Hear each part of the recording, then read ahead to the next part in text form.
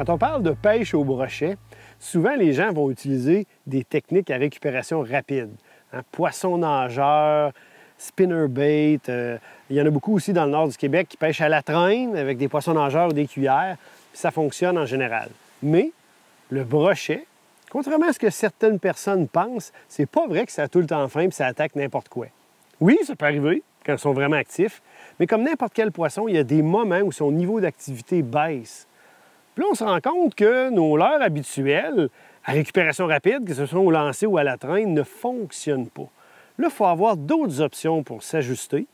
Puis Ben, tu m'en as fait découvrir une aujourd'hui. Hein, on a pêché sur un lac de la réserve rouge Matawan. Puis on a eu ces conditions-là où on a senti que le niveau d'activité du brochet avait baissé. On pêchait des environnements superbes, puis on n'attrapait pas de poissons jusqu'à ce que tu utilises le chatterbait. Parle-moi un peu de ce leurre-là, comment on le travaille, comment ça fonctionne. Bien justement, on avait deux défis aujourd'hui. Premièrement, le niveau d'activité baissé. Deuxièmement, on est sur une plan d'eau qu'on n'a jamais été. On n'a pas de plan bathymétrique.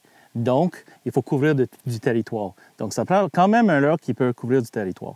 Donc, j'ai pensé à, faire, à sortir ça. Ça ici s'appelle un chatterbait. Dans le fond, c'est un peu... Si on enlève le, le devant, ça ressemble beaucoup à un swim jig c'est un jig pour l'achigan à grande bouche.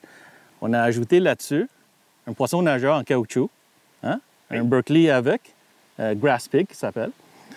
Mais en avant, c'est là le truc. Il a mis une lame, un style de lame en avant, où ce que, quand tu ramènes ça, récupères ça, ça va vibrer.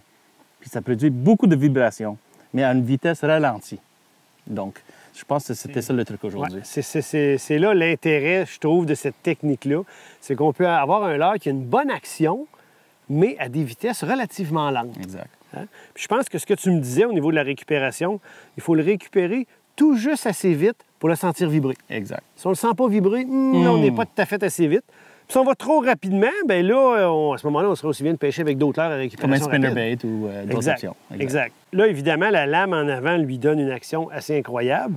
Puis là, en plus, en arrière, on a la queue ronde qui aussi donne de l'action, plus les jupes. Plus les jupes. Vraiment, là, c'est une, offrande très tentante pour, pour les brochets. bon, c'est une présentation conçue pour la à grand bouche, mais ça marche parfaitement pour le brochet. OK. Au niveau de l'équipement, y a-t-il un équipement particulier qu'on devrait utiliser quand on fait ce genre de pêche-là? Évidemment, tu as mis un avançon d'acier. Acier. Après ça, c'est du fluocarbone trilène 100 OK. 15 livres. OK. Dans, tout le moulinet ou Dans un tout le moulinet. Vous voyez?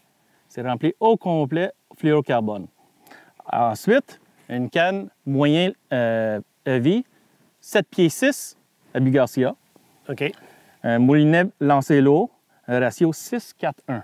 Ça, ça fait la différence parce que ça va ralentir votre récupération. OK. Là, on ne souhaite pas avoir un ratio trop élevé. Exact. Qui ferait que notre chatterbait rentre trop, trop vite. rapidement, exact. Puis là, euh, ça fonctionnerait moins. OK. Donc, si je résume, canne 7 pieds 6, disons entre 7 et 7 et 6, exact. on est correct. Puissance moyenne lourde, action rapide. Action rapide. Exact. Toi, tu l'as utilisé avec un lancer lourd. Euh, c'est ce que je recommande aussi.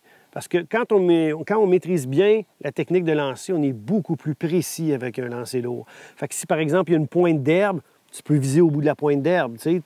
Ça nous amène beaucoup de précision. Puis de force aussi. C'est des gros spécimens hein, pour les, les soutirer de l'herbe et tout ça. Tu as plus de contrôle avec ça. Exact. Ton moulinet, qu'est-ce que tu as choisi pour un mettre euh, là-dessus? Abus Garcia, Revo Premier 641. 641. OK. Fait que je pense qu'on a pas mal fait le tour. Euh, moi, j'ai beaucoup aimé cette technique-là. C'est sûr qu'à partir de maintenant, il va faire partie de mon arsenal. Les journées que on sent que le, niveau d'activité du brochet a diminué, a ralenti beaucoup, c'est une super bonne offrande à utiliser près de la végétation.